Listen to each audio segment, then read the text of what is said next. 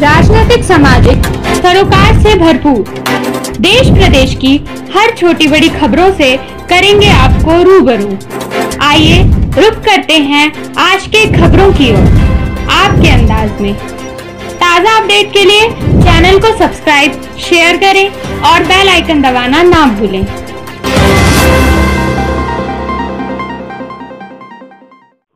नमस्कार, आप देख रहे हैं PP news twenty four seven. जी हाँ एक और मामला सामने आया है। मार्टिनगंज आजमगढ़ दीदारगंज थाना क्षेत्र के सुरहन पेट्रोल टंकी के पास दो बाइकों में टक्कर होने से पिकअप चालक हुआ घायल।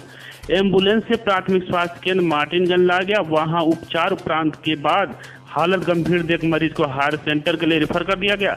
आपको बता दें कि शाहगंज निवासी पीर मोहम्मद किसी काम से मार्टिनगंज आ रहा था। सुरहन की पेट्रोल टंकी के पास दो बाइक टक्कर होने से घायल। आइए देखें मंगल मिश्रा की खास report.